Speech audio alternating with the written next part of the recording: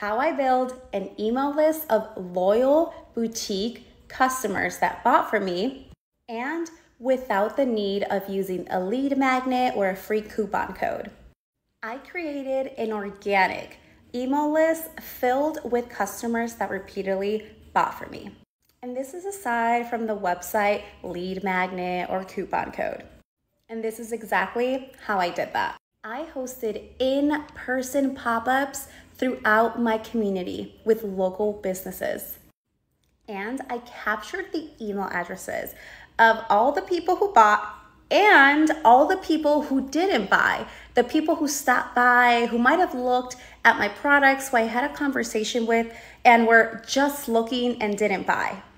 So after the pop up, I added all of those email addresses to my email list and sent them targeted emails that thanked them for coming to my pop up.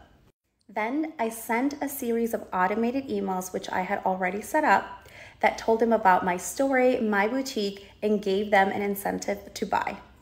And guys, this resulted in purchases from the people who hadn't bought from me before, the people who were just looking. And the reason for this is because they got the chance to meet me, interact with my products, but I also nurtured that relationship and kept the conversation going even after the pop up.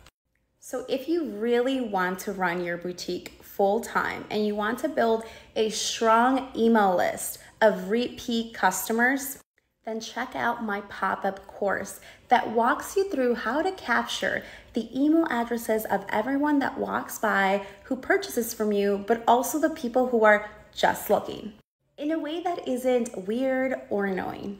You can find the course using the Linktree in my bio. Or you can also just DM me the word pop up and I'll send you the link.